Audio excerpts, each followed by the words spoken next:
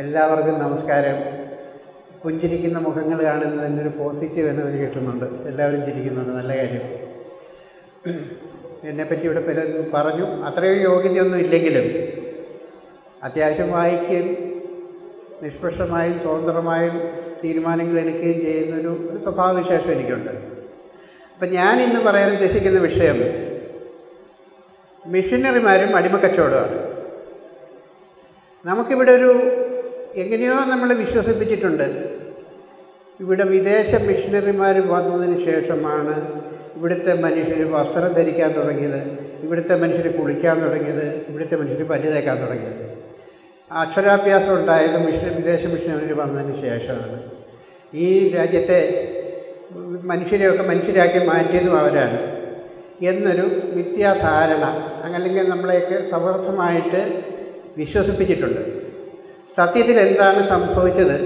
മിഷണറിമാരുടെ പ്രവർത്തന മേഖലയിൽ അവരുടെ ലക്ഷ്യങ്ങൾ എന്തായിരുന്നു?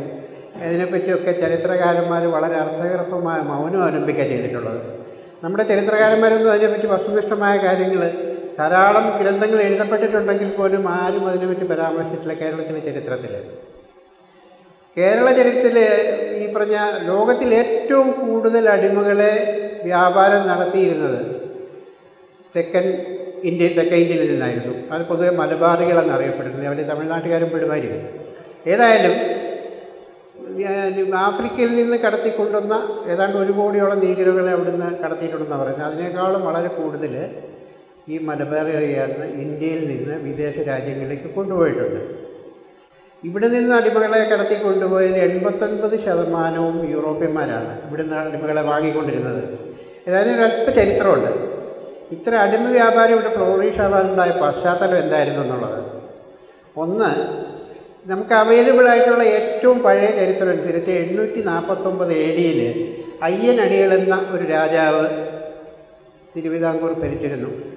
അദ്ദേഹത്തിന്റെ കാലത്താണ് അടിമകളെ പറ്റിയും അടിമ അടിയാന്മാരെ പറ്റിയും ഉള്ള പരാമർശങ്ങളുള്ള തരിശാപ്പള്ളി ശാസനത്തിൽ. അന്ന് ഒരുപക്ഷെ ലോകത്തിൽ ഏറ്റവും നിന്ദ്യവും ഹീനവും നികൃഷ്ടമായ രീതിയിൽ ദളിതരെ കൈകാര്യം ചെയ്തിരുന്ന ഒരു രാജ്യമായിരുന്നു ഇത്. ഇവിടുത്തെ അടിമകൾക്ക് വഴി നടക്കാൻ അവകാശം ഉണ്ടായിരുന്നില്ല. സവർണന് നടക്കുന്ന വഴിയിലൂടെ നടന്നു എന്ന ഒറ്റ കാരണത്തിന്റെ പേരിൽ ഇവരെ തലവെട്ടുന്നതിന് ആരും ചോദ്യം ചെയ്യില്ല.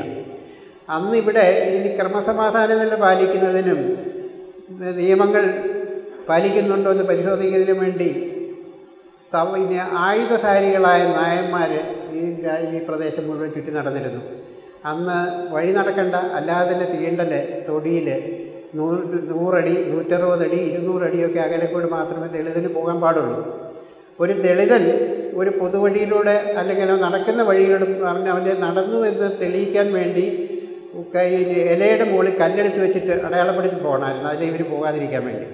ഏതായാലും അങ്ങനെയുള്ള നിസാര കാര്യങ്ങൾക്ക് പോലും ഇവിടെ തലവെട്ടിയിരുന്നു. ഒരു പഴം മോഷ്ടിച്ചാൽ ഒരു മാങ്ങ മോഷ്ടിച്ചാൽ അവർ വിചാരണ ചെയ്ത് ഒന്നുകിൽ കൈവെട്ടും അല്ലെങ്കിൽ എന്ത് ചെയ്താലും ചോദ്യം ഉണ്ടായിരുന്നില്ല. ലോകത്തിൽ ആരംഭകാലം മുതൽ തന്നെ മിക്കവാറും ആളുകളുടെ ഒരു വിശ്വാസം ഉണ്ടായിരുന്നു. പ്ലേറ്റോ പോലും എഴുതിയിട്ടുണ്ട്. മുന്നൂറ്റി മുപ്പത്തെട്ടിൽ എഴുതിയ പുസ്തകത്തിൽ അയാൾ പറഞ്ഞിട്ടുണ്ട് അടിമകൾക്ക് ആത്മാവില്ല. അംഗവൈകല്യമുള്ളവർക്ക് ആത്മാവില്ല. അവരെ കൊല്ലുന്നത് പാപവുമല്ല തെറ്റുമല്ല. ആ വിശ്വാസം പിന്നീട് വന്ന ഈ ശക്തി പ്രാപിച്ചു വന്ന ക്രിസ്തുമതത്തിന്റെ അടിസ്ഥാന തത്വമായിട്ട് മാറി. ക്രിസ്ത്യാനികൾ ലോകമെമ്പാടും അടിമക്കച്ചവടത്തിൽ വ്യാപൃതരാകുകയും ലാഭം ഉണ്ടാക്കുകയും ചെയ്തു. ഏതായാലും കേരളത്തിലെ അവസ്ഥ ഞാൻ പറഞ്ഞില്ല ഇവിടുത്തെ ദളിതരുടെ അവസ്ഥ ലോകത്ത് മറ്റുള്ളതിനേക്കാളും വളരെ നികൃഷ്ടമായ അവസ്ഥയിലായിരുന്നു. അതുകൊണ്ട് അവർ പല ആളുകളും ഇവിടെ നിന്ന് എങ്ങനെയെങ്കിലും രക്ഷപ്പെട്ടാൽ മതി എന്നുള്ള ഒരു ചിന്താഗതി അവരിൽ ഉണ്ടായിരുന്നതായിരുന്നു ഏതായാലും ആയിരത്തി നാനൂറ്റി തൊണ്ണൂറ്റെട്ടിൽ പോർട്ടീസുകാർ ഇവിടെ വരുന്നു. ആയിരത്തി നാനൂറ്റി തൊണ്ണൂറ്റെട്ടിൽ വന്ന പോർട്ടീസുകാർ ആയിരത്തി അഞ്ഞൂറ്റി പത്തായപ്പോഴേക്ക് ഇവിടുത്തെ സാഹചര്യങ്ങൾ മനസ്സിലാക്കി ഇവിടെ നിന്ന് അടിമകളെ സംഘടിപ്പിച്ച് വിലയ്ക്ക് വാങ്ങി കൊണ്ടുപോകാൻ ആരംഭിച്ചു. അവർക്ക് വേണ്ടി അന്ന് ഈ അടിമകളെ സംഘടിപ്പിച്ച് കൊടുത്തിരുന്ന ഇവിടുത്തെ സുറിയാനി ക്രിസ്ത്യാനികളായിരുന്നു. ഇവരുടെ ഏജന്റുമാരായിട്ട് വർക്ക് ചെയ്തിരുന്നത്. ഇവർക്കറിയാം ഏതൊക്കെ സ്ഥലങ്ങളിൽ ആളുകളുണ്ട് എവിടെയൊക്കെ പുലയരുണ്ട് എവിടെയൊക്കെ ദളിതരുണ്ട് എവിടെയൊക്കെ ആദിവാസികളുണ്ട്. ഇങ്ങനെയുള്ള ആളുകൾ എവിടെയൊക്കെ ഉണ്ടെന്ന് ഇവർക്ക് അറിയാമായിരുന്നു. ഇവരിങ്ങനെ കമ്മീഷൻ ബേസിൽ ആളുകളെ സംഘടിപ്പിച്ച് നമ്മളിപ്പോൾ ഈ അടുത്ത കാലത്ത് പറയാറുണ്ടായിരുന്നല്ലോ ഈ തമിഴന്മാർ വന്ന് പിള്ളേരെ പിടിച്ച പിടുത്തക്കാർ വരുന്നുണ്ട് പിള്ളേരെ കൊണ്ടുപോകുന്നു പറഞ്ഞതുപോലെ ഇവരിങ്ങനെ അലഞ്ഞു നടന്ന് ദാരിദ്ര്യവും പട്ടിണിയും അനുഭവിക്കുന്ന പ്രദേശങ്ങളിലുള്ളവർ അതിന് അതുപോലെ തന്നെ അന്നത്തെ കേരളത്തിലെ വളരെയേറെ ദരിദ്രമായ ഒരു അവസ്ഥ ഇവിടുത്തെ സാമൂഹിക അവസ്ഥ വളരെ കഷ്ടമായിരുന്നു. പ്രത്യേകിച്ചും ഇവിടുത്തെ സവർണ സമുദായത്തിൽ പോലും അതുണ്ട്. സവർണരായിരുന്നില്ല കേട്ടോ നായന്മാർ അവർക്ക് പോലും ഈ അവസ്ഥയായിരുന്നു. നായർ സ്ത്രീകൾക്ക് ഇഷ്ടം പോലെ ഭർത്താക്കന്മാരെ ആവാം. ഓരോ നായർ സ്വത്തുക്കൾ നായർ സ്ത്രീകളുടെ പേരിലുണ്ട്. അവരുടെ തറവാട്ടിലുണ്ടാകുന്ന കുട്ടികൾ പലരുടേതായിരിക്കും. പലർക്കും എത്ര മക്കളുണ്ടെന്ന് പോലും നിശ്ചയം ഉണ്ടാവില്ല അതുപോലെ ഇവിടുത്തെ പൊലേര് പറയര് ഇവരുടെയൊക്കെ അവസ്ഥ ഏതായിരുന്നു അപ്പോൾ ഇവരൊക്കെ ഇങ്ങനെ കഷ്ടിച്ച് പ്രാഞ്ചാറായി കഴിഞ്ഞാൽ അലഞ്ഞ് നടന്ന് എവിടെയെങ്കിലുമൊക്കെ എന്തെങ്കിലുമൊക്കെ പഠിച്ച് അങ്ങനെ അലഞ്ഞ് നടക്കുന്ന ഒരു കാലഘട്ടം. അത്രയേറെ ദരിദ്രം ഇവിടെയുണ്ട്. അവരെയൊക്കെ നല്ല വാഗ്ദാനങ്ങൾ കൊടുത്ത് ഈ ക്രിസ്ത്യൻ ഏജന്റന്മാർ പിടിക്കും പിടിച്ച് കൂട്ടിക്കൊണ്ടുവരും ക്യാമ്പിലെത്തിക്കും. ഒരു പ്രധാനപ്പെട്ട ക്യാമ്പായിരുന്നു അന്ന് ചങ്ങനാശ്ശേരി. ചങ്ങനാശ്ശേരിയിൽ ആഴ്ചയിൽ മൂന്ന് ദിവസം അടിമച്ചന്ത ഉണ്ടായിരുന്നു അടിമകളെ ലേലം ചെയ്യുമായിരുന്നു. ഒരു പുരുഷന് പതിനാറ് രൂപയും ഒരു സ്ത്രീക്ക് ആറ് മുതൽ എട്ട് രൂപ വരെ വില ഉണ്ടായിരുന്നുള്ളൂ ഇവിടെ നോക്കി ഇവരെ കൊണ്ടുപോകും. കൊണ്ടുപോയി ഇവരുടെ ക്യാമ്പ് മുണ്ടക്കയത്തും മുണ്ടക്കയം എന്നുള്ള പേര് തന്നെ ഉണ്ടാക്കിയത് ഹെൻറി ബേക്കർ ജൂനിയറാണ് ഇവിടുന്ന് നിന്ന് ഒളിവിൽ പോകുന്ന അല്ലെ രക്ഷപ്പെട്ട് തടവിൽ നിന്ന് രക്ഷപ്പെട്ട് ഒളിച്ചോടിപ്പോയി താമസിക്കാൻ വേണ്ടി ഇവിടുത്തെ പുലയരും പറയരും അയിനവരും ഊരാളികളും മലയരയന്മാരും ഒക്കെ പോയി ക്യാമ്പ് അടിക്കുന്ന സ്ഥലമായിരുന്നത്. അത് ഇവർ കണ്ടെത്തി. കണ്ടെത്തിയതിന് ശേഷം അവിടെ ഒരു നൂറേക്കർ സ്ഥലവും സായിപ്പോന്ന് വാങ്ങിച്ച് അവിടെ ക്യാമ്പ് ഉണ്ടാക്കി. ഈ അടിമകളെ തയ്യാറാക്കി എടുക്കാൻ അവരെയൊക്കെ ഒരു ഇനിഷ്യൽ ട്രെയിനിങ് കൊടുക്കും. അവരെ കുളിക്കാൻ പഠിപ്പിക്കും. അതുപോലെ അവരുടെ പിന്നെ നായർ പിള്ളേരാണ് കുടുംബിയൊക്കെ മുറിച്ച് കഴിഞ്ഞിട്ട് ഈ പറഞ്ഞ പൊലയരുടെയും പറയുടെയും ഒക്കെ കൂടെ എത്തി ഭക്ഷണം കൊടുക്കും. ഒരുമിച്ചിങ്ങനെ ഈ പന്തി ഭോജനം നടത്തി കഴിഞ്ഞാൽ അവർക്ക് ഒരിക്കലും സ്വന്തം സമുദായത്തിലേക്ക് തിരിച്ചു പോകാൻ പറ്റില്ല. എന്നേക്കുമായിട്ട് പുറത്താക്കും. തീണ്ടലാണെങ്കിൽ ശുദ്ധികലശമൊക്കെ ചെയ്ത് അവർക്ക് തിരിച്ചു വരാം സമൂഹത്തിലേക്ക് പക്ഷേ ഇവരുടെ അടുത്ത് ഈ പൊലെ പിള്ളേരുടെ കൂടി ഇരുത്തി ഇവരെയും കൂടെ ഭക്ഷണം കൊടുക്കും. കാരണം പട്ടിണിയാണ് എവിടെയൊക്കെ എന്ത് കിട്ടിയാലും അവർ കഴിക്കും. അങ്ങനെ എത്തി അവരെ ജാതി ഭ്രഷ്ടരാക്കിയിട്ട് അവരെ എല്ലാവരും പറയന്മാരാക്കും അവരുടെ പൊലയന്മാരാക്കും ഇങ്ങനെ ഉണ്ടാക്കി ക്യാമ്പിൽ പത്ത് നൂറും പത്ത് ഇരുന്നൂറും പത്ത് മുന്നൂറും ആളുകളെ ഇങ്ങനെ കൊണ്ടുവരും. കൊണ്ടുവന്നിട്ട് നമ്മുടെ ഈ എറണാകുളം ഭാഗത്തുള്ള എല്ലാ ക്രിസ്ത്യൻ പള്ളികളും ഈ അടിമകളെ പൂട്ടിയിടാനുള്ള ഗോഡൗണുകളായിട്ട് ഉപയോഗിച്ചുകൊണ്ടിരുന്നത് ചങ്ങലക്കിട്ട് അതിനകത്ത് പൂട്ടിയിടും. ആഴ്ചയിൽ ആറ് ദിവസവും ഈ പള്ളികളിൽ അടിമകളെ സംരക്ഷിക്കുന്ന പൂട്ടിയിട്ടിരുന്നു. ഏഴാം ദിവസം അത് തുറന്ന് ഇവരെ മാറ്റി ഒരു കുർബാന അല്ലെങ്കിൽ ഒരു പ്രാർത്ഥന ഇത് ആ ചടങ്ങ് നടന്നുകൊണ്ടിരുന്നത്. എറണാകുളത്തെ എല്ലാ പള്ളികളുടെയും അവസ്ഥ അതായിരുന്നു. മുളന്തുരുത്തി പള്ളിയിൽ ആഴ്ചയിൽ മൂന്ന് ദിവസം ലേലം ഉണ്ടായിരുന്നു. സ്ത്രീകളെയും കാളയും പശുവിനെയും ഒക്കെ ലേലം ചെയ്യുമായിരുന്നു. പരസ്യമായിട്ട് പള്ളിയുടെ ആഭിമുഖ്യത്തിൽ പള്ളി വികാരിയുടെ ആഭിമുഖ്യത്തിൽ പള്ളിക്ക് പൈസ ഉണ്ടാക്കാൻ വേണ്ടി അടിമകളെ വിൽക്കുമായിരുന്നു. അല്ലെങ്കിൽ ലേലം ചെയ്യുമായിരുന്നു. ഇതൊക്കെ ഈ ചരിത്രകാരന്മാർ നമ്മുടെ ചരിത്രകാരന്മാർ എന്തോ വാർത്ത സൗകര്യ സൗകര്യപൂർവം വിസ്മരിച്ച് കളഞ്ഞ കാര്യങ്ങളാണ്. പക്ഷേ അതൊക്കെ ബ്രിട്ടീഷ് ചരിത്രകാരന്മാർ എഴുതിയിട്ടുണ്ട്. ബ്രിട്ടീഷ് മിഷണറിമാരോട് ഇങ്ങനെയുള്ള ചരിത്ര പുസ്തകങ്ങളിൽ ധാരാളം ഇതിനെപ്പറ്റി രേഖകൾ ബ്രിട്ടീഷ് കോടതികളിൽ വിചാരണ നടത്തിയതൊക്കെ ഉണ്ടായിരുന്നു. ഏതായാലും ഞാൻ ആദ്യം പറഞ്ഞതുപോലെ ഇവിടുത്തെ ആയിരത്തി അഞ്ഞൂറ്റി പത്തിൽ പോർട്ടുഗീസുകാർ ഇത് ആരംഭിച്ചു. ഇവിടുന്ന് ധാരാളം പേരെ ഇങ്ങനെ കൊണ്ടുവന്ന് ഇവരുടെ ക്യാമ്പുകളിൽ ഇനിഷ്യൽ ട്രെയിനിങ് ഒക്കെ കൊടുത്ത് റെഡിയാക്കി ഇവരുടെ പേര് മാറ്റി. എല്ലാവരും അങ്ങ് മാമോയിസ് നമുക്ക് പേര് മാറ്റി. നീലിയെ പിടിച്ച് ഡയാനയാക്കി. അതുപോലെ മറ്റുള്ള പേരുകളുള്ളവരെയൊക്കെ ഡയാനയും ആനും മരിയയും ഇങ്ങനെയൊക്കെ ആക്കിയിട്ട് പേര് മാറ്റി ഇവർ പോട്ടയിലേക്ക് കൊണ്ടുപോകും. അതിൽ കൊണ്ടാ കൊള്ളാവുന്ന ചെറുപ്പക്കാരും ആരോഗ്യമുള്ള സ്ത്രീകളെയൊക്കെ കൊട്ടാരത്തിലേക്ക് കൊടുക്കും. റാണിക്ക് സമ്മാനമായിട്ട് പത്ത് നൂറും പേരെ കൊടുക്കുമായിരുന്നു. ഇങ്ങനെ കൊണ്ടുപോയി അവരെ ഇവരുടെ തോട്ടം നനയ്ക്കാനും വീട്ടിലെ പണിക്കും മൃഗങ്ങളെ പരിപാലിക്കാനും ഒക്കെ ആയിട്ട് ഉപയോഗിച്ചുകൊണ്ടിരുന്നു. ആണുങ്ങളെ പ്രായപൂർത്തി ആണുങ്ങളെ ഈ പതിനെട്ട് രൂപ വരെ വിലയുണ്ടെങ്കിൽ കൊടുത്ത് വാങ്ങിയ അടിമകളുണ്ടല്ലോ. അവരെ പോർട്ടുകളിലും ഒക്കെ കെട്ടിടങ്ങൾ പണിയാനും റോഡ് പണിയാനും അതുപോലെയുള്ള കടുത്ത പണികൾക്കൊക്കെ അവരെ ഉപയോഗിച്ചിരുന്നു. കാരണം അന്ന് അവിടെയുള്ള ചെറുപ്പക്കാരൊക്കെ പട്ടാളത്തിൽ ചേരും. കോളനികൾ കണ്ടെത്തലും കോളനികൾ സ്ഥാപിക്കലുമായിരുന്നു പോർട്ടുഗീസുകാരുടെ ലക്ഷ്യം. അന്ന് ഇവരെയൊക്കെ ഈ ഇന്ത്യ മലബാറികളെ മുഴുവൻ അവിടുത്തെ ആ പോർട്ടുഗലിലെ ആഭ്യന്തര കാര്യങ്ങൾ അവിടുത്തെ പണികൾക്ക് ഉപയോഗിച്ചുകൊണ്ടിരുന്നു. ഇതുകൂടാതെ ഇവിടുന്ന് ആയിരത്തി അറുന്നൂറ്റി മൂന്നിൽ ഇവിടെ ഡച്ചുകാർ എത്തിച്ചേർന്നു ഡച്ചുകാർ സ്വാതന്ത്ര്യം സ്പെയിനിന്റെ കോളനിയായിരുന്നു. സ്വാതന്ത്ര്യം കിട്ടി ഇരുപത് വർഷത്തിനകം അവർ ലോകശക്തിയായിട്ട് തന്നെ മാറി. ലോകമെമ്പാടും അവരും കേപ്പും ഒക്കെ അവരുടെ ആയിരുന്നു. സൗത്ത് ആഫ്രിക്ക ആദ്യം ഡച്ചുകാരുടെ കൈവശമായിരുന്നു. മൗറീഷ്യസ് ഡച്ചുകാരുടെ കോളനിയായിരുന്നു. ഈ മൗറീഷ്യസിലെ കരിമ്പിൻ തോട്ടങ്ങളിലും പണിയെടുക്കാനും ഒക്കെ ആയിട്ട് അവർക്ക് ജോലിക്കാരുടെ ആവശ്യമുണ്ടായിരുന്നു. ഡച്ചുകാർ ഇവിടെ വന്നിട്ട് വാർ ഫുട്ടിങ്ങിൽ ഈ അടിമകളെ കളക്ട് ചെയ്യാൻ തുടങ്ങി. അവർക്കെല്ലാവർക്കും ഈ നമ്മുടെ കൊച്ചി തുറമുഖത്തിൽ നിന്ന് അടിമക്കച്ചവടം നടത്തിയിരുന്നവരിൽ മുപ്പത്തൊമ്പത് ശതമാനം ഡച്ചുകാരായിരുന്നു അവർക്ക് ഈ അടിമകളെ സപ്ലൈ ചെയ്തിരുന്നതിൽ മുപ്പത്തെട്ട് ശതമാനം ക്രിസ്ത്യാനികളെ സപ്ലൈ ചെയ്തിരുന്നത്. അതും കത്തോലിക്കര്. ഇവരാണ് ഇവളെ ഇവരെ ആളുകളെ സംഘടിപ്പിച്ച് കൊണ്ടുപോയിട്ട് ഡച്ചുകാർക്ക് കൊടുത്ത് പൈസ വാങ്ങിക്കൊണ്ടിരുന്നത്. അവർ കൂടാതെ അസൻ അലി എന്ന് പറഞ്ഞൊരു അറബി വലിയ ബിസിനസ്സുകാരനുണ്ടായിരുന്നു. അയാളുടെ പ്രധാന പരിപാടി അടിമക്കച്ചവടമാണ്. കാരണം ഈ പ്ര- ഉൾപ്രദേശങ്ങളൊക്കെ കടന്ന് നമ്മുടെ പാമ്പാടി പുതുപ്പള്ളി ചങ്ങനാശ്ശേരി കൊളശ അതുപോലെ ആലപ്പുഴ ഈ പ്രദേശങ്ങളിലെല്ലാം നടന്ന ആളുകളെ സംഘടിപ്പിച്ച് അന്ന് കൊടുക്കുമ്പോൾ ഒരു ഒരു നിയമപരമായിട്ടൊരു സാധ്യത സാധ്യതയുണ്ടായിരുന്നു കേട്ടോ. ഞാൻ ആദ്യം പറഞ്ഞല്ലോ അന്നത്തെ ഈ നായ ക്രമസമാധാന നില പാലിക്കാൻ വേണ്ടി ആയുധധാരികളായി ചുറ്റി നടക്കുന്ന നായന്മാർ അവർക്ക് വേറെ പണിയൊന്നും ഉണ്ടായിരുന്നില്ല. അവരുടെ അനുഗ്രഹവും സമ്മതവും ദരോഗ എന്നറിയപ്പെടുന്ന അല്ലെങ്കിൽ പോലീസ് കോത്തുവാളം എന്നൊക്കെ വടക്കേന്റെ ഹിന്ദി ഭാഷയാണെങ്കിൽ അതിലൊക്കെ ഉള്ളവരുടെ അവരുടെയൊക്കെ അനുമതിയോടുകൂടി അവർക്ക് കമ്മീഷൻ കൊടുത്ത് പോകുന്ന ആളിന്റെ പിന്നെ പേര് ലിംഗം ജാതി ഇതെല്ലാം രേഖപ്പെടുത്തി റെക്കാർഡ് സഹിതമാണ് ഇവരെ കൊണ്ടുപോയിക്കൊണ്ടിരുന്നത്. ഇവിടെ ഇവിടെ ബ്രിട്ടീഷുകാർ വന്നിട്ട് കുറേ വർഷങ്ങൾക്ക് ശേഷം ബ്രിട്ടീഷുകാർ വന്നതിന് ശേഷം ഇവിടെ അഞ്ചരക്കണ്ടി എന്ന് പറഞ്ഞ സ്ഥലത്തൊരു എസ്റ്റേറ്റ് ഉണ്ടാക്കി അവർ അവിടെ കറുവാപ്പട്ട കുരുമുളക് പിന്നെ ഇഞ്ചി അതുപോലെയുള്ള ഈ സുഗന്ധ വ്യഞ്ജനങ്ങൾ കൃഷി ചെയ്യുന്നൊരു തോട്ടമായിരുന്നു. കാപ്പി ഇതൊക്കെ തോട്ടം. ആദ്യം ഒരു ഇരുന്നൂറ് ഏക്കർ റിക്ലൈൻ റിക്ലൈൻ പിന്നെ വൃത്തിയാക്കി അവരവിടെ കൃഷി ആരംഭിച്ചു. അവിടെ പണിക്കാരുടെ ആവശ്യമുണ്ടായിരുന്നു ആ പണിക്കാരുടെ ആവശ്യത്തിന് വേണ്ടി അസനലിയാണ് നാനൂറ് പേരെയാണ് ആലപ്പുഴയിൽ നിന്ന് കൊണ്ടുപോയിട്ടുള്ളത്. ആലപ്പുഴയിൽ നിന്ന് ഈ അടിമകളെ ഒരു രേഖ ഈ പറഞ്ഞ അത്യാവശ്യം കൂട്ടുവാളിനെയൊക്കെ പെർമിഷനോട് കൂടി നാനൂറ് പേരെ സപ്ലൈ ചെയ്തിട്ടുണ്ട്. അതിൽ കുറേ പത്ത് ഇരുപത് പേരെ അയാളുടെ വീട്ടിലേക്ക് എടുത്തു ബാക്കിയുള്ളവരേക്ക് എടുത്തു കുറേ പേരെ പുറത്ത് വിൽക്കുകയൊക്കെ ചെയ്തു. അവിടെ ഈ എസ്റ്റേറ്റ് ക്രമേണ വ്യാപിച്ച് വികസിച്ച് വികസിച്ച് വന്ന കാലത്ത് അവിടെ പണിയെടുക്കാൻ കൊണ്ടുപോയ ഈ പറഞ്ഞ സായിപ്പ്.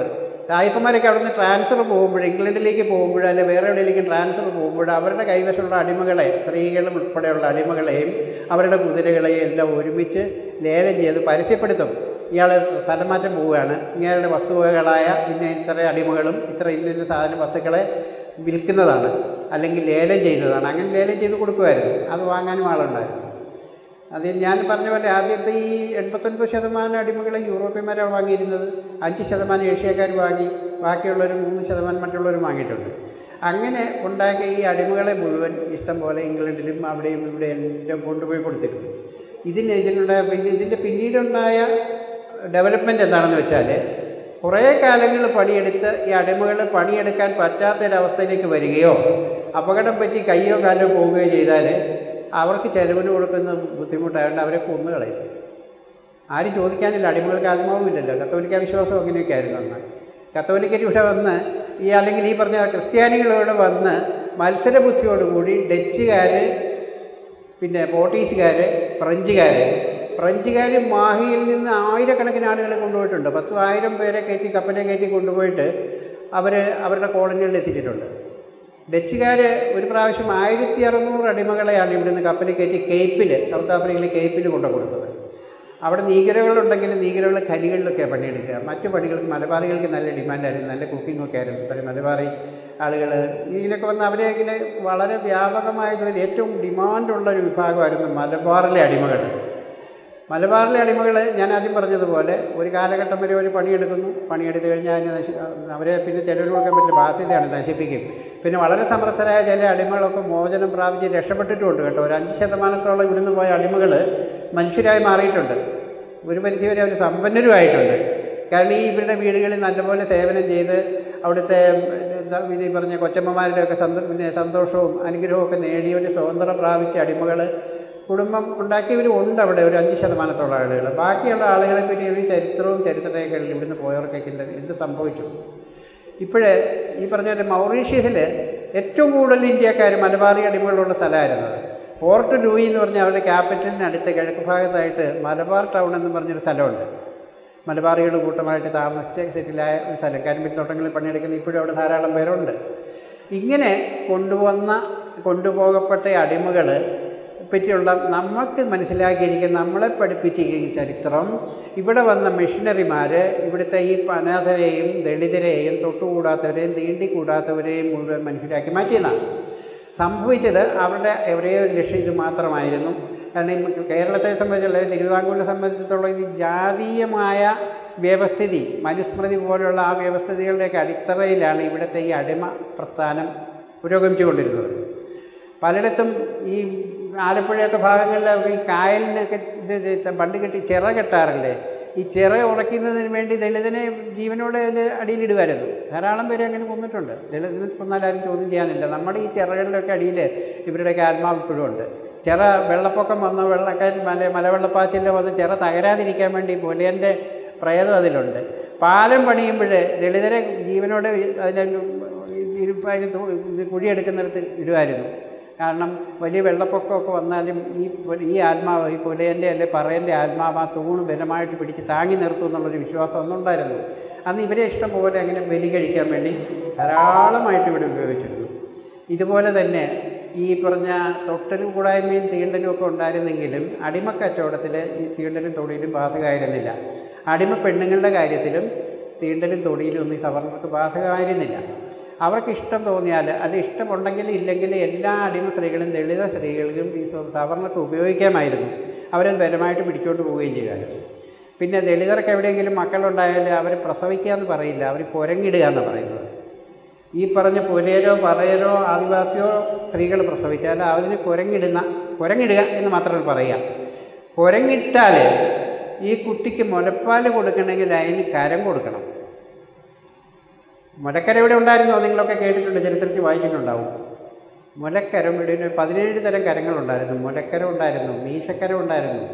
പിന്നെ തളാപ്പ് കരം തെങ്ങ് കവ് കയറുന്നതിന് കരം തിളപ്പിടം ഉണ്ടാക്കുന്നതിന് ഏണിക്കരം തെങ്ങ് കയറുന്നതിന് കരം അലക്ക് കല്ലിന് കരം ഉണ്ടായിരുന്നു അലക്കാൻ അതിനുപയോഗിക്കുന്നതിന് ചക്കിൽ എണ്ണയാട്ടുന്നവർക്ക് ഒരു പ്രത്യേകതരം കരം ഉണ്ടായിരുന്നു. പിന്നെ കുടത്തിനൊരു നാഴി ഒരു നാഴി എണ്ണ ഒരു കുടം എണ്ണ നാട്ടിയെടുത്താൽ ഒരു നാഴി എണ്ണ അതിന് കരം കൊടുക്കണം. ഒരു അഥവാ ആരെങ്കിലും ഒരു ദളിതരെ ഈഴവരോ അതുപോലെയുള്ള തീരെ ദളിതരല്ലാത്ത ആൾക്കാർക്ക് അല്പം വെള്ളി ആഭരണം എന്തെങ്കിലും ഇടണമെങ്കിൽ അതിന് പ്രത്യേക അപേക്ഷ കൊടുത്ത് അതിന് പ്രത്യേക അനുവാദം കരം കൊടുത്തിട്ട് വാങ്ങണം. നെയ്ത്തുകാർ ഇഷ്ടം പോലെയുണ്ട് നല്ല തുണി നെയ്യുന്ന ധാരാളം പേര് നമ്മുടെ ഈ അഞ്ച് തെങ്ങിലൊക്കെ ഉണ്ടായിരുന്നു. അഞ്ച് തെങ്ങിൽ നിന്ന് ബ്രിട്ടീഷുകാരും ഒക്കെ ഇഷ്ടംപോലെ തുണി കടത്തി കൊണ്ടുപോയിട്ടുണ്ട് കയറ്റുമതി ചെയ്തിട്ടുണ്ട്. ആ പക്ഷേ ഈ നെയ്ത്തുകാർക്കാർക്ക് ആ തുണി കൊടുക്കാൻ പറ്റില്ലായിരുന്നു. കാരണം അവർ മുട്ടിന് താഴെ ഇറക്കമുള്ള ഒരു വസ്ത്രം അവർക്ക് ധരിക്കാൻ പറ്റില്ല. അവർ അങ്ങനെ എങ്ങാനും സംഭവിച്ചാൽ അത് അവരെ കൊന്നു കളഞ്ഞാലും ആരും ചോദിക്കാനുണ്ടായിരുന്നില്ല. അപ്പോൾ ഈ പറഞ്ഞ നെയ്ത്തുകാർക്ക് അതിന് കരമുണ്ടായിരുന്നു പതിനേഴ് തരം ഇതുപോലുള്ള കരങ്ങൾ ഈ കാര്യസ്ഥന്മാരങ്ങനെ നിശ്ചയിക്കും. അപ്പോൾ ഈ സാധാരണ ഒരു സ്ത്രീ പ്രസവിച്ചു കഴിഞ്ഞാൽ അല്ലെ കുരങ്ങിട്ട് കഴിഞ്ഞാൽ കുട്ടിക്ക് പാൽ കൊടുക്കണമെന്ന് ഞാൻ പറഞ്ഞില്ല കരം കൊടുക്കണം. കരം കൊടുക്കാതെ മുലപ്പാൽ കൊടുക്കാൻ പറ്റില്ല. അപ്പോൾ അതിന് വേണ്ടിയിട്ട് ഈ കാര്യസ്ഥന്മാരൊന്ന് പരിശോധിക്കും. കാര്യസ്ഥം വരുന്നതിന് മുമ്പ് എങ്ങാനും ഇവിടെ മുലപ്പാൽ കൊടുത്തിട്ടുണ്ടോ? കൊടുത്തിട്ടുണ്ടെന്ന് പരീക്ഷിക്കാൻ വേണ്ടി ഇവിടെ മുല ഞെക്കി നോക്കും. നല്ല പിഴിഞ്ഞു നോക്കും. ഈ പാൽ കൊടുത്തിട്ടുണ്ട്. അത്രയും നികൃഷ്ടമായ കാര്യങ്ങൾ ഇവർ ചെയ്തിട്ടുണ്ട്. ഒരു കാലത്ത് ഇവിടെ അങ്ങനെ ആയിരുന്നു. നികുതി ഏത് കാര്യത്തിനും ഇന്നിപ്പം ഞാൻ കുറച്ച് വിമർശന ബുദ്ധിയോടെ ഇത് കഴിഞ്ഞ ദിവസം തമാശ ഞാൻ പറയുണ്ടായി നമ്മുടെ രാജ്യത്ത് കേരളത്തിൽ ഒരു പക്ഷേ ഇനി നികുതി ചുമത്താനുള്ളത് ഓക്സിജൻ മാത്രമേ ഉള്ളൂ. നമ്മളൊക്കെ സ്വതന്ത്രമായിട്ട് ശ്വസിക്കുന്ന ഓക്സിജനും കൂടെ നികുതി വ്യാപകമായിട്ട് ചുമത്താൻ പറ്റിയേക്കും. ബാക്കി എല്ലാത്തിനും നികുതി ആയി കഴിഞ്ഞു. ഏതായാലും അന്ന് ഈ പറഞ്ഞ പോലെ ആര് എന്ത് ചെയ്താലും അതിനൊക്കെ നികുതി കൊടുക്കണം. അതിന് കാര്യസ്ഥന്മാരൊന്ന് പരിശോധിക്കും. ഇവരുടെ പെണ്ണുങ്ങളെ കൊണ്ട് നീതി കുടിശ്ശിക വരുത്തിയാൽ ഈ ഒന്നാമത് മാറി മറയ്ക്കാനൊന്നും പറ്റില്ല. ആയിരത്തി എണ്ണൂറ്റി അമ്പത്തഞ്ച് വരെ ഇവിടുത്തെ സ്ത്രീകൾക്ക് മാറി മറയ്ക്കാൻ പറ്റില്ലായിരുന്നു. സവർണ സ്ത്രീകൾക്ക് പോലും പറ്റില്ലായിരുന്നു. ആയിരത്തി എണ്ണൂറ്റി അമ്പത്തഞ്ചിൽ റാണി പാർവതിബായി അല്ല ഒരു കൽപ്പന പുറപ്പെടുവിച്ചത്.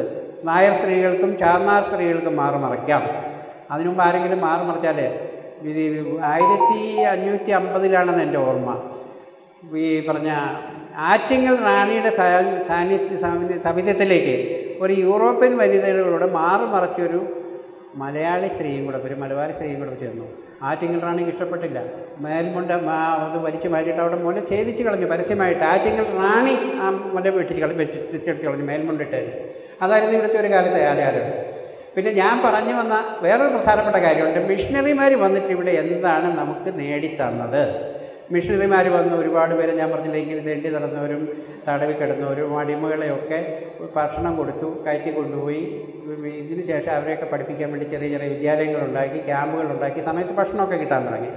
ഇവരുടെ അൾട്ടിമേറ്റ് ലക്ഷ്യം മതപരിവർത്തനവുമായിരുന്നു ഈ കൂടെ ഇവർ മതപരിവർത്തനവും നടത്തി. ഇവിടുത്തെ പൊരേരെ പിടിച്ച് മതപരിവർത്തനം നടത്തി. പക്ഷേ മതപരിവർത്തനം നടത്തി എങ്കിലും അവരുടെ പേര് മാത്രമേ മാറിയുള്ളൂ ജാതി മാറിയില്ല. യേശുവിന്റെ അമ്മയായ മറിയത്തിന്റെ പേര് കൊടുത്ത ആൾ മറിയ പുലക്കള്ളിയായിരുന്നു ഇവിടെ. അന്ന പുലക്കള്ളിയായിരുന്നു. യേശുവിന്റെ അപ്പൻ ജോസഫിന്റെ പേര് സ്വീകരിച്ച ആൾ ജോസഫ് പുലയനായിരുന്നു ഔസേപ്പ് പുലയനായിരുന്നു ആ പൊലേൻ പുലയനായിട്ട് തന്നെ നിന്നു. ഇവരുടെ സാമൂഹിക അവസ്ഥ ഒട്ടും മെച്ചപ്പെടുത്താൻ ഈ മിഷണറിമാരുടെ ഒരു സംഭാവന ഉണ്ടായിട്ടില്ല. അവർക്ക് വേണ്ടി പ്രത്യേകം പള്ളികൾ ഇവർ പണിതു. പ്രത്യേക വിദ്യാലയങ്ങൾ പണിതു. അതുപോലെ തന്നെ അവരുടെ ആചാരങ്ങൾ ഈ ദളിതരൊക്കെ വന്നു കഴിഞ്ഞപ്പോൾ ഇവിടുത്തെ സവർണ ക്രിസ്ത്യാനികൾ സവർണർ എന്ന് പറയുന്നതിന് വലിയ അടിസ്ഥാനമൊന്നുമില്ല കേട്ടോ. ഒരു സവർണനും ഇവിടെ ക്രിസ്ത്യാനി ആയിട്ടില്ല എന്നുള്ളത് ഒരു സത്യം. അത് പിൽക്കാലത്ത് അതിനെപ്പറ്റി ഞാൻ സംസാരിച്ച് വരുമ്പോൾ പറയാം. അപ്പോൾ ഇങ്ങനെ ഇവർ ഈ പള്ളികളൊക്കെ ഉണ്ടാക്കി ഇവർക്ക് വേണ്ടി പ്രത്യേകം പക്ഷേ സവർണ ക്രിസ്ത്യാനികൾ ഇവിടെ ആരാധന നടത്തുന്ന ഞായറാഴ്ച ദിവസം അവരെ പള്ളി കയറ്റി ആരാധിക്കാൻ പറ്റില്ല. അവർക്ക് പ്രത്യേക പള്ളി എങ്കിലും ഞായറാഴ്ച ദിവസം അവർക്ക് ആരാധന പാടില്ലായിരുന്നു. അവരുടെ ആരാധന ശനിയാഴ്ച ദിവസമായിരുന്നു. ക്രിസ്മസ് ഇരുപത്തിയഞ്ചാം തീയതിയാണ് ക്രിസ്ത്യാനികൾ ലോകവ്യാപകമായിട്ട് ആഘോഷിക്കുന്നത്. പക്ഷേ ഇവിടുത്തെ ദളിതർക്ക് ക്രിസ്മസ് ഇരുപത്തി ആറാം തീയതിയായിരുന്നു. അങ്ങനെയൊക്കെ ഇവിടെ നിയമം പാസ്സാക്കി പുലപ്പള്ളിയും പുലിയ സെമിത്തരികളും ഇവിടെ ഉണ്ടാക്കി. ഞാൻ പറഞ്ഞത് ഇവിടുത്തെ ദളിതരുടെ സാമൂഹ്യ അവസ്ഥ അല്പം പോലും മെച്ചപ്പെടുത്താൻ ഈ മിഷനറി പ്രവർത്തനം കൊണ്ട് സാധിച്ചിട്ടില്ല. പിന്നെ ഇവർ വിദ്യാഭ്യാസം കൊടുത്തു വിദ്യാലയങ്ങൾ സ്ഥാപിച്ചു എന്ന് പറയുന്നുണ്ട്. സത്യമാണ്. വിദ്യാലയങ്ങൾ സ്ഥാപിച്ച് ഈ ദളിതരെ ഉദ്ധരിക്കാനും അല്ല ഇവിടുത്തെ അക്ഷരാഭ്യാസം ഇല്ലാത്തവരെ നന്നാക്കാനും വേണ്ടിയായിരുന്നില്ല പോർട്ടീസുകാർക്ക് അവരുടെ ഗോഡൗണുകളിലും അതുപോലെ കോട്ടകളിലും ഒക്കെ പണിയെടുക്കാനും കണക്കെഴുതാനും ഒക്കെ അക്ഷരറിയാവുന്നവർ വേണമായിരുന്നു. അവരെ പോർട്ടുഗലിൽ നിന്ന് കൊണ്ടൊന്നും ഇവിടെ പണിയെടുപ്പിക്കാൻ പറ്റില്ല. അവിടെ കണക്കെഴുതാനും അവരുടെ കാര്യങ്ങൾ നോക്കാനും ഇവരെ ട്രെയിനിങ് കൊടുത്ത് വിദ്യാഭ്യാസം കൊടുത്തു എന്നുള്ള സത്യമാണ്.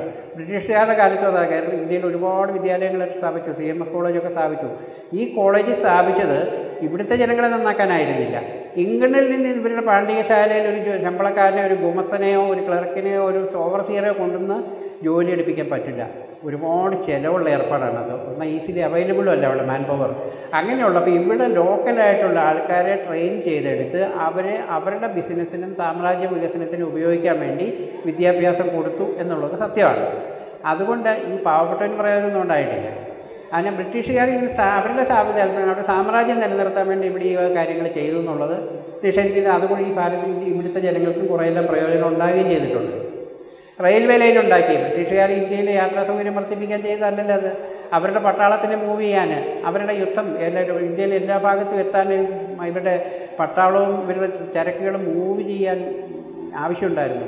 പോസ്റ്റൽ ഡിപ്പാർട്ട്മെന്റ് ഇവർക്കൊക്കെ എഴുത്തുകുത്തുകൾ ഈ പട്ടാളക്കാർക്ക് എത്തിക്കാൻ വേണ്ടി ഇതിന്റെ ആവശ്യമുണ്ട്. അതിനുവേണ്ടിയൊക്കെ സ്ഥാപിച്ചു. നമുക്കത് പിന്നീട് പ്രയോജനപ്പെട്ടു എന്നുള്ളത് ശരിയാണ് റെയിൽവേ നമുക്ക് പ്രയോജനപ്പെട്ടു എന്നുള്ളത് ശരിയാണ് പക്ഷേ ബ്രിട്ടീഷുകാരുടെ ലക്ഷ്യം ഈ സാമ്രാജ്യം അവർ വിട്ടുപോകാനായിരുന്നില്ല ഒരു കാലത്തും. ഇവിടെ അവരുടെ ഭരണം ഉറപ്പിക്കാൻ വേണ്ടിയിട്ടുള്ള ഇൻഫ്രാസ്ട്രക്ചർ അവർ ഉണ്ടാക്കിയെടുക്കുകയാണ് ചെയ്തത്. എന്നിട്ട് ഇവിടുത്തെ മിഷണറിമാർ പറഞ്ഞു ഇതെല്ലാം ഞങ്ങളുടെ ആൾക്കാർ വന്ന മിഷണറിമാർ വന്നതിന് ശേഷമാണ് ഇവിടുത്തെ ക്രിസ്ത്യാനികൾ പറഞ്ഞ് ഞങ്ങളാണ് ഇവിടെ എല്ലാവർക്കും എല്ലാം ഉണ്ടാക്കി കൊടുത്തത് എന്ന് ഇവർ അവകാശപ്പെടുന്നു. ഇവർ ഞാൻ ആദ്യം പറഞ്ഞതുപോലെ ഇവിടെയുള്ള സാധാരണക്കാരായ ദളിതരായ ജനങ്ങളെ സംഘടിപ്പിച്ച് കളക്ട് ചെയ്ത് കൊണ്ടുപോയി ഈ അടിമ വ്യാപാരം നടത്തുന്ന യൂറോപ്യൻ രാജ്യങ്ങളുടെ സപ്ലൈ ചെയ്യുന്ന ആ പണിയിലൂടെ അവൻ ഒരുപാട് ഫ്ലോറിഷ് ചെയ്തു ഒരുപാട് നേട്ടങ്ങളും ഉണ്ടാക്കി. സാമൂഹിക രംഗത്തും അല്ലാത്ത രംഗത്തും. ഒരു തമാശ ആലോചിക്കാവുന്ന ഒരു തമാശയുണ്ട്. ഇവിടുത്തെ ക്രിസ്ത്യാനിക്ക് തീണ്ടലുണ്ടായിരുന്നില്ല ഏത് നമ്പൂരിക്കും തൊടാം തിന്നാം ഒരുമിച്ച് കഴിക്കാം എല്ലാ സൗകര്യങ്ങളും അവരെ ഏതാണ്ട് അവരുടെ സമ ഏതാണ്ട് ആ നിലയിലേക്ക് അവരെ കണക്കാക്കിയിരുന്നു ക്രിസ്ത്യാനികളെ ഒരു കാലത്ത്. നായന്മാർക്ക് തീണ്ടലുണ്ടായിരുന്നു ആരംഭകാലത്ത്. അപ്പോൾ ഈ ക്രിസ്ത്യാനികളായിരുന്ന ആൾക്കാർ പ്രത്യേകിച്ച് യൂറോപ്യന്മാർ പോർട്ടീസുകാർ ഡച്ചുകാർ ഫ്രഞ്ചുകാരും ഒക്കെ വന്നു കഴിഞ്ഞപ്പോൾ അവർക്കൊക്കെ ഇവരുടെ ഒപ്പം ഇരിക്കാം ഇവരോട് സംസാരിക്കാം. ഒരിക്കൽ തിരുവിതാംകൂർ കൊട്ടാരത്തിലേക്ക് മൺട്രോ ദിവാനായിരിക്കുന്ന സമയത്ത് റെസിഡന്റ് ആയിരിക്കുന്ന സമയത്ത് ഒരു C S I bishop C S I ഒരു ബിഷപ്പ് ആംഗ്ലിക്കൻ ബിഷപ്പ് അവിടെ കയറി ചെല്ലുന്നു. കയറി ചെല്ലുമ്പോൾ ഈ മൺട്രോ എഴുന്നേറ്റ് ബഹുമാനിച്ചു. രാജാവും എഴുന്നേറ്റു. രാജാവ് ചോദിച്ചേട്ടാ ഈ മൺട്രോ സാഹിബിനേക്കാളും വലിയ ആളാണല്ലേ ഈ ബിഷപ്പ്? അയാൾ പോയി എഴുന്നേറ്റ് ബഹുമാനിക്കുന്നുണ്ട്. ഇയാളുടെ മനസ്സിൽ അങ്ങനെ ഇയാൾ ഏതാണ്ട് എല്ലാവരെക്കാളും സൂപ്പർ ഹ്യൂമൻ ആണെന്നൊരു ധാരണ രാജാവിന്റെ മനസ്സിൽ അതുകൊണ്ട് രൂഢമൂലമായി അന്ന് രാജാവ് അനുവാദം കൊടുത്തു ഈ ബിഷപ്പന്മാർക്കൊക്കെ കൂടി വെച്ച കാറിൽ യാത്ര ചെയ്യാം. നെയിം പ്ലേറ്റ് വെച്ച് യാത്ര ചെയ്യുക. അവരെ ഒരു ട്രാഫിക് പോലീസും തടയാൻ പാടില്ല. ഇന്നും അത് എഴുതിയിരിക്കുന്നുണ്ട് കേട്ടോ. ഒരുപാട് പേരുണ്ട്. മെത്ത- കാതോലിക്ക ബാബയൊക്കെ കാതോലിക്ക ഓഫ് ദി ഈസ്റ്റ് എന്നുള്ള വലിയ നെയിം ബോർഡും കൊടിയൊക്കെ വെച്ചാണ് യാത്ര ചെയ്യുന്നത്. ഒരു ട്രാഫിക് നിയമങ്ങൾ അവർക്ക് ബാധകമല്ല. ഇവിടുത്തെ നമ്മുടെ സൂപ്പർ മുഖ്യമന്ത്രിക്ക് പോലും ഇല്ലാത്ത പ്രൊട്ടക്ഷൻ അവർക്ക് കൊടുക്കണം. അങ്ങനെ ഒരു അവസ്ഥ ഇവിടെ ഉണ്ടാക്കിയെടുത്തു. കാരണം അവരെ പറ്റിയുള്ളൊരു ധാരണ അതായിരുന്നു. ഇവരെന്തോ സൂപ്പർ ഹ്യൂമനാണ് നമ്മളെക്കാളൊക്കെ ശ്രേഷ്ഠന്മാരാണെന്നൊരു ധാരണ ഇവർക്ക് ഉണ്ടാക്കിയെടുക്കാൻ കഴിഞ്ഞിട്ടുണ്ട്. അതിലൂടെ ഈ രാജ്യത്തെ ശരിക്കും ചൂഷണം ചെയ്യുന്നതിന് ഇവരുപയോഗിച്ചു പിന്നെ ഞാൻ പറഞ്ഞു വന്നത് ഈ പറഞ്ഞ ഈ ക്രിസ്ത്യാനികൾക്കൊക്കെ നമ്പൂതിരിയുടെ ഒപ്പം ഏതാണ്ട് അതിന്റെ തൊട്ടടുത്ത സ്റ്റാറ്റസ് ഉണ്ടായിരുന്നു. അപ്പം നമ്പൂരിമാർ പിൽക്കാലത്ത് തന്നെ ഒരു ന്യായീകരണം കണ്ടുപിടിച്ചത് എന്താണെന്നറിയോ? ഈ ഇവരൊക്കെ നമ്പൂരിമാർ മാർഗം കൂടിയവരാണ്. തോമാസ്ലിയ ഇവിടെ വന്ന അഞ്ച് ബ്രാഹ്മണ കുടുംബങ്ങളെ മാമോയിസം മുക്കി എന്ന് പറയും. എന്ന് പറഞ്ഞാൽ അത് ഇവിടുത്തെ നമ്പൂരിമാരാണ് അതങ്ങനെ ഒരു കഥ ഇവിടെ ഉണ്ടാക്കിയത്. ഇവരാദ്യം വന്ന കാലത്ത് ഇവിടെ നമ്പൂതിരിമാർ സെന്റ് തോമസ് മാമോദിസ മുക്കി ക്രിസ്ത്യാനികളായി. അങ്ങനെ നമ്പൂതിരി പാരമ്പര്യം ഇവിടുത്തെ ക്രിസ്ത്യാനിക്കുള്ളത്. അതുകൊണ്ടാണ് ഞങ്ങൾ അവരോട് ഇടപെടുന്നതെന്ന് അവരൊരു കഥയുണ്ടാക്കി. ക്രിസ്ത്യാനികൾ അത് വളരെ ഏറ്റുപിടിച്ചു. വളരെ ഗംഭീരമായിട്ട് അവർ അഞ്ച് തറവാടുകളുണ്ടാക്കി പകലോമറ്റവും ശങ്കരിപുരിയും ഇങ്ങനെയൊക്കെ ഇന്ത്യൻ കുടുംബത്തിൽപ്പെട്ടവരാണ് ഞങ്ങൾ. ഞങ്ങളൊക്കെ അപ്പം അപ്പനപ്പൂപ്പന്മാർ നമ്പൂരിമാരായിരുന്നുള്ളൊരു ഞാൻ കാരണം കണ്ടുപിടിച്ചു. കേരളത്തിൽ അത് രൂഢമൂലമാക്കാൻ പറ്റി. പക്ഷേ സത്യത്തിൽ കേരളത്തിൽ ഒരു ഒറ്റ സവർണനും ഒരൊറ്റ നമ്പൂതിരിയും ക്രിസ്ത്യാനി ആയിട്ടില്ല. ചരിത്രത്തിൽ ഒരു രേഖകളും അതില്ലല്ലോ ഒരു നമ്പൂതിരി പോലും ഇവിടെ ഇവിടെ പറഞ്ഞ ക്രിസ്മത പരിവർത്തനം ചെയ്തവരൊക്കെ ഇവിടുത്തെ ദളിതരും അല്ലെങ്കിൽ അതുപോലെയുള്ള ആൾക്കാരുമാണ്. അങ്ങനെ ഇവർ ഈ പറഞ്ഞ സവർണ മേധാവിത്വം ഞങ്ങൾക്ക് വലിയ ഔന്നത്യോ ഔട്ട് ഇതൊക്കെ പറഞ്ഞ് അവർ അവരുടെ സ്ഥാനം ഉറപ്പിച്ചു.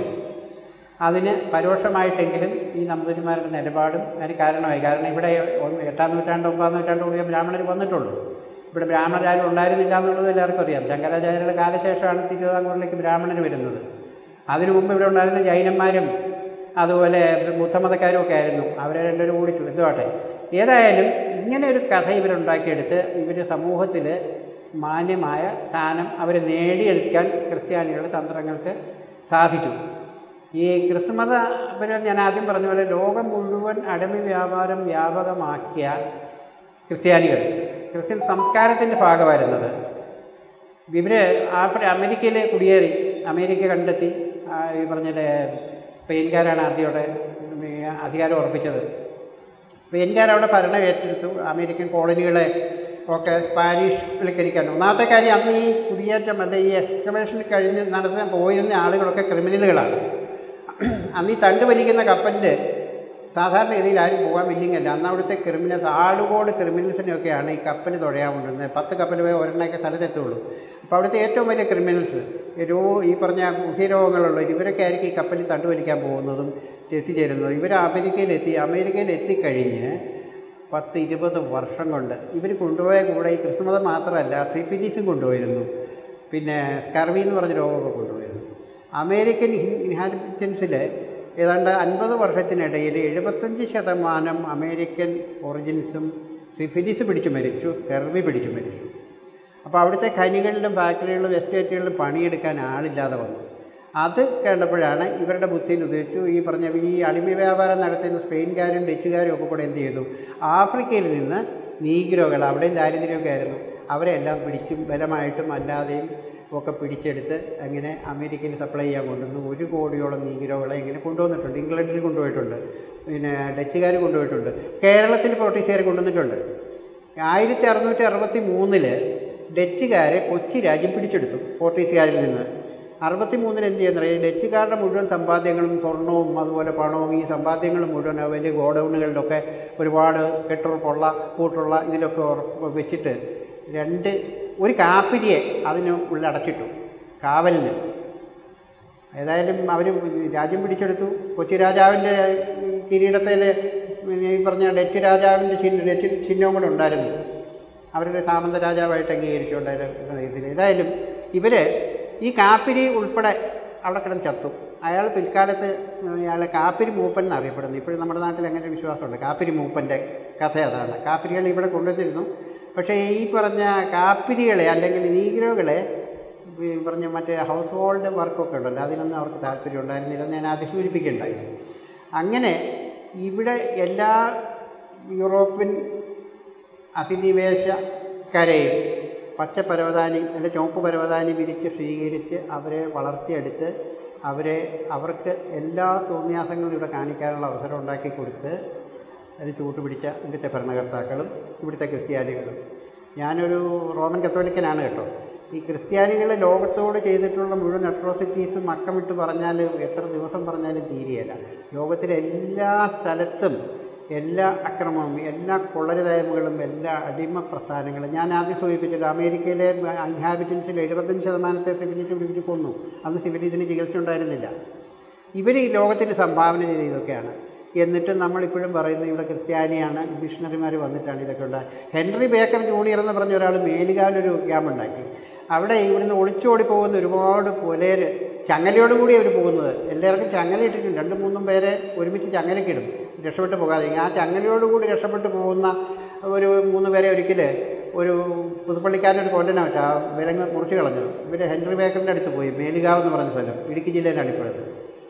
ഇല്ല ഇടുക്കി ജില്ല അതെ. ആ മേലുകാവിൽ അയാളൊരു സ്കൂളൊക്കെ നടത്തുന്നുണ്ട് അവിടെ വെച്ച് ആളുകളെയൊക്കെ മതപരിവർത്തനം നടത്തി യേശുവിനെ പറ്റിയും യേശുവിന്റെ മഹത്വത്തെ പറ്റിയൊക്കെ പറഞ്ഞു കൊടുത്തൊക്കെ പഠിപ്പിച്ച് എല്ലാം പഠിപ്പിച്ചെടുത്തതിന് ശേഷം അത് പാലായിലെ ഒരു സിറിയൻ ക്രിസ്ത്യൻ മുതലാളിയുടെ അടിമകളായിരുന്നു അങ്ങോട്ട് പോയത്.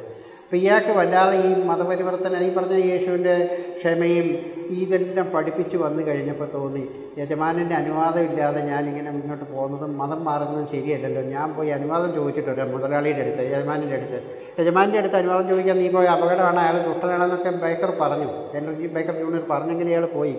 ഇതായാലും ഇയാളെ കൈ അവിടെ കിട്ടി കിട്ടിക്കഴിഞ്ഞ് ദിവസങ്ങളോളം പീഡിപ്പിച്ചിട്ടാണ് അവനെ കൊന്നുകളഞ്ഞത്. അത് ഞാൻ പറഞ്ഞു വന്നത് ഇത്ര നിഷ്ഠൂരമായിട്ട് മനുഷ്യരെ കൊല്ലാനുള്ള പൊതുവെ പോർട്ടീസുകാരൊക്കെ എങ്ങനെയായിരുന്നു തന്നെ അന്ന് ലോകത്തിലെ ഏറ്റവും സമ്പന്നമായ രാഷ്ട്രം ലോകത്തിലെ ഏറ്റവും സമ്പന്നമായ രാഷ്ട്രം സ്പെയിനായിരുന്നു. രണ്ടാമത് പോർട്ടുഗലായിരുന്നു. മൂന്നാമത് ഡച്ചുകാരായിരുന്നു. നാലാമത് ഫ്രഞ്ചുകാരായിരുന്നു. ഇംഗ്ലണ്ടൊന്നും ചിത്രത്തിലേ ഉണ്ടായിരുന്നില്ല. ഇംഗ്ലീഷുകാർ ഇവിടെ വന്ന് ആയിരത്തി എണ്ണൂറ്റി പന്ത്രണ്ടിലൊക്കെ കേരള ആയിരത്തി എണ്ണൂറ്റി ആറിൽ അവർ തിരുവാങ്കൂറിൽ വരുന്നുണ്ട്. അവരുടെ മിഷണറിമാരും ചർച്ച് സൊസൈറ്റിക്കാരും ഒക്കെ ആയിരത്തി എണ്ണൂറ്റി ആറിലാണ് കേരളത്തിൽ വരുന്നത്. ഇവിടെ വന്നു കഴിഞ്ഞപ്പോഴാണ് നോക്കുമ്പോൾ ഇവിടെ പോർട്ടീസുകാരും മറ്റീ പറഞ്ഞ ഞാൻ പറഞ്ഞ മറ്റ് രാജ്യക്കാരുണ്ട് ഇവിടെ ഇഷ്ടംപോലെ ആളുകളെ കൊണ്ടുവന്ന് പണം സമ്പാദിക്കുന്നുണ്ട് ലോകവ്യാപകമായിട്ട് അഴിവ്യാപാരം നടത്തുന്നുണ്ട്. ഇവർക്ക് തോന്നി ഇതിനൊന്ന് തടയിടണം. ഇവരങ്ങനെ മിടുക്കന്മാരാവണ്ട എന്ന് വിചാരിച്ച് ഇവരന്ന് എന്ത് ചെയ്തെന്നറിയോ? ഇവിടെ പിന്നെ ഫ്രഞ്ചുകാർ ഞാൻ പറഞ്ഞ മാഹി എന്ന് ഇഷ്ടംപോലെ അടിമകളെ കിടത്തിക്കൊണ്ടായിരുന്നത് ആയിരത്തി എണ്ണൂറ്റി നാൽപ്പത്തൊന്നിൽ നാൽപ്പത്തി മൂന്നിൽ ഇംഗ്ലീഷുകാരോ നിയമം പാസ്സാക്കി ഇന്ന് അടിമകളെ കടത്താൻ പാടില്ല എന്നാണ്. ഫ്രഞ്ചുകാരെ തടയിടാൻ വേണ്ടിയായിരുന്നത് ഏതായാലും അത് കഴിഞ്ഞും ഇവരൊക്കെ കടത്തിക്കൊണ്ട് തന്നെ ഇരുന്നു. ഇംഗ്ലീഷുകാരും കടത്തിക്കൊണ്ടിരുന്നു. ഇംഗ്ലീഷുകാർ ആയിരത്തി എണ്ണൂറ്റി അമ്പത്തി നാലിൽ ഇന്ത്യയിൽ മൊത്തം അടിമ വ്യാപാരം നിരോധിച്ചു. അമ്പത്തിനാല് നിരോധിച്ച് കഴിഞ്ഞും പത്തൊമ്പതാം നൂറ്റാണ്ടിന്റെ അവസാനം ഇരുപതാം നൂറ്റാണ്ട് ആരംഭത്തിലൊക്കെ ബ്രിട്ടീഷുകാരും ഇത് കൊണ്ടുപോയിട്ടുണ്ട്. നിയമം അങ്ങനെ കിടന്നു. അപ്പോൾ ഇതിനിടയ്ക്ക് ഇവിടെ മൈസറേറ്റ് കോടതികളുണ്ടായിരുന്നു. അടിമകളെ കൊണ്ടുപോയാൽ അവർ അതിനൊക്കെ ഈ അസനലി എന്ന് പറഞ്ഞ അറബി അയാൾ അറബി നാട്ടിൽ അയാൾ ലോകം വ്യാപകമായിട്ട് അടിമുള്ള ഇവിടെ നിന്ന് കൊണ്ടുപോയി കൊടുത്തിരുന്ന ആളാണ്. അസനലിയെ ഇവിടെ പിന്നെ കണ്ണൂരൊരു കോടതി വെച്ച് വിചാരണ നടത്തിയ ഒരു ബ്രിട്ടീഷ് മജിസ്ട്രേറ്റ് നിങ്ങൾ എങ്ങനെയാണ് ഇവരെ കൊണ്ട് നിങ്ങളുടെ ആരുടെ അനുവാദത്തോടു കൂടിയാണ് കൊണ്ടുവന്നത്? നിങ്ങളത് എന്ത് ചെയ്തു? നിങ്ങൾ എത്ര പണം കൊടുത്തു? അവരുടെ ജാതി എന്തായിരുന്നു? കൊണ്ടുപോകുമ്പോൾ അവരുടെ ജാതിയും ലിംഗമൊക്കെ എഴുതുമായിരുന്നു.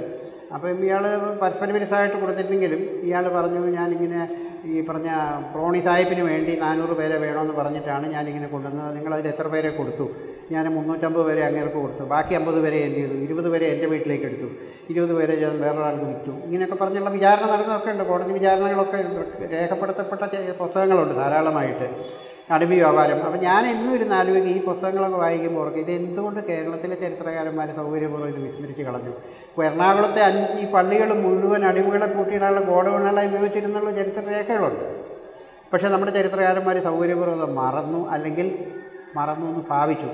കാരണം ഇവിടുത്തെ ക്രിസ്ത്യാനികളെ പിണക്കാനുള്ള ധൈര്യം എഴുത്തുകാർക്ക് എന്ന് എനിക്ക് തോന്നുന്നില്ല. സാംസ്കാരിക നായന്മാർക്കൊക്കെ അത് ഉണ്ടായിരുന്നു തോന്നുന്നില്ല. പക്ഷേ എഴുതപ്പെട്ട ധാരാളം പുസ്തകങ്ങളുണ്ട്. ഇംഗ്ലണ്ടിലാണ് അതൊക്കെ പബ്ലിഷ് ചെയ്തിരിക്കുന്നത്. ഇവിടുത്തെ അടിമകളെ എങ്ങനെയാണ് ചെയ്തത്? എന്തൊക്കെയാണ് ചെയ്തത്? ഇവിടുത്തെ ക്രിസ്തുമത വിശ്വാസികൾ അല്ലെങ്കിൽ ഈ മിഷണറിമാർ വന്ന് ഇവിടെ ഉണ്ടാക്കി കൊടുത്ത നേട്ടം എന്താണ്? നമ്മളിന്ന് പ്രത്യേകിച്ച് ക്രിസ്ത്യാനികൾ അഭിനയിക്കുന്നുണ്ട് കാരണം ക്രിസ്ത്യാനികളെ സംബന്ധിച്ചിടത്തോളം ബ്രിട്ടീഷുകാർ ഒരിക്കലും പോകുമെന്ന് പ്രതീക്ഷിച്ചിരുന്നില്ല. പോകണമെന്ന് അവർ ആഗ്രഹിച്ചിരുന്നുമില്ല. അതുകൊണ്ട് ഇവിടെ സ്വാതന്ത്ര്യ സമരകാലത്ത് പോലും സ്വാതന്ത്ര്യ സമര സേനാനികളെ ഒറ്റിക്കൊടുത്തുകൊണ്ടിരുന്ന ഇവിടുത്തെ ക്രിസ്ത്യൻ മേധാ ഈ ആൾക്കാരായിരുന്നു. കാരണം ബ്രിട്ടീഷ് ഭരണം ഇവിടുന്ന് ഒരിക്കലും പോകില്ല ഞങ്ങളുടെ ഭാവി സുരക്ഷിതമാണെന്ന് അവർക്ക് ഉറപ്പുണ്ടായിരുന്നു.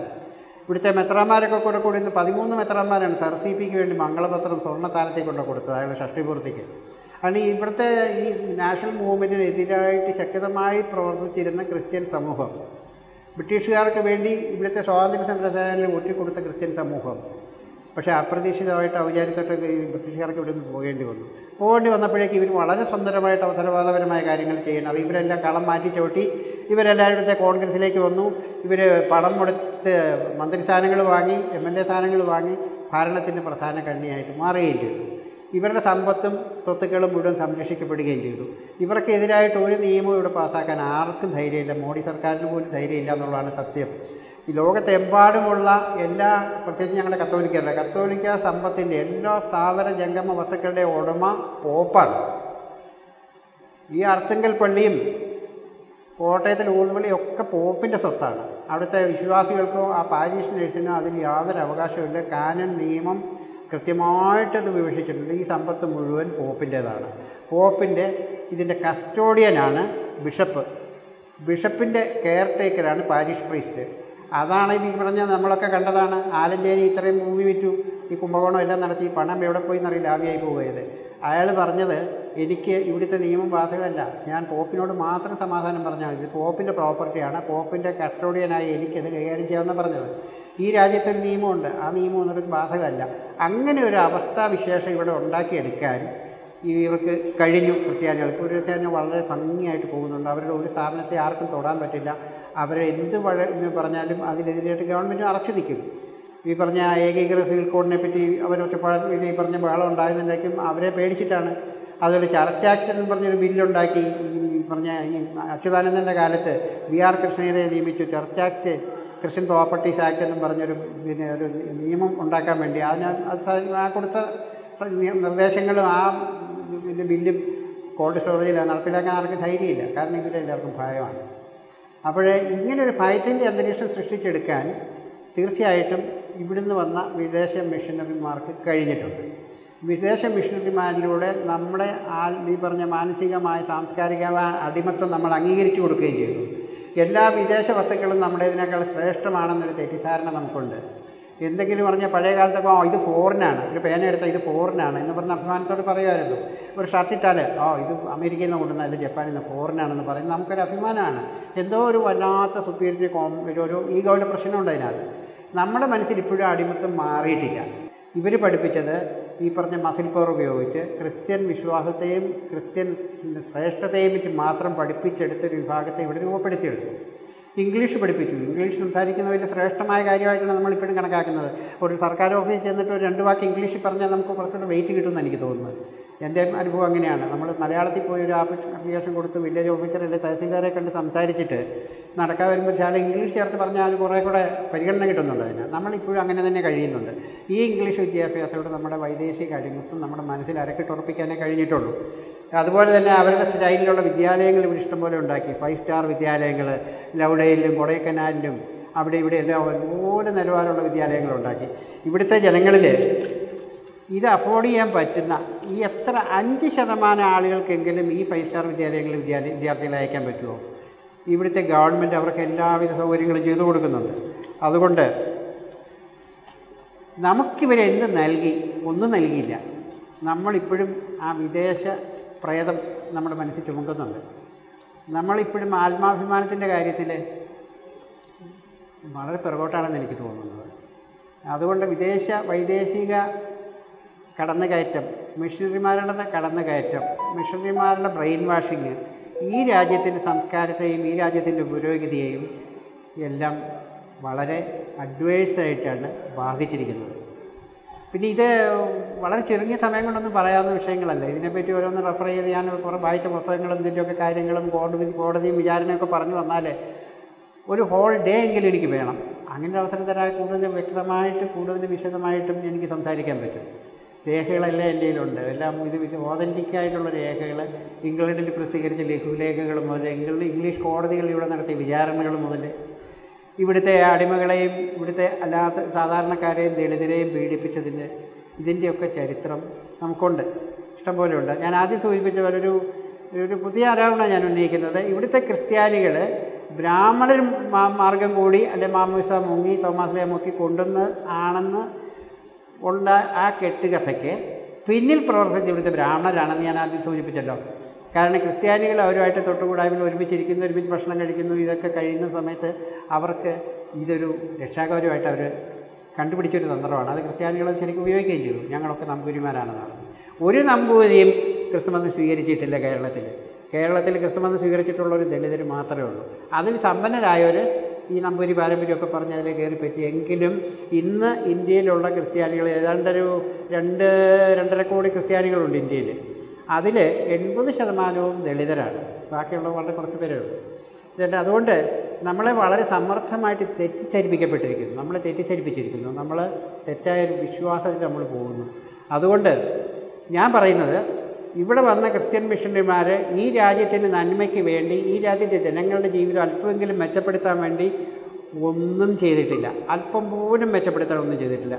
പിന്നെ പറയുന്നത് വിദ്യാലയങ്ങൾ ഉണ്ടാക്കിയില്ല? അതിനു മുമ്പ് വിദ്യാലയങ്ങൾ ഉണ്ടായിരുന്നില്ല. അതിന്റെ കാലഘട്ടത്തിന്റെ ആവശ്യമായിരുന്നു. ബ്രിട്ടീഷുകാർ വന്നില്ലെങ്കിലും പിൽക്കാലത്ത് വിദ്യാലയങ്ങൾ ഉണ്ടാകുമായിരുന്നു. അതൊക്കെ പോട്ടെ.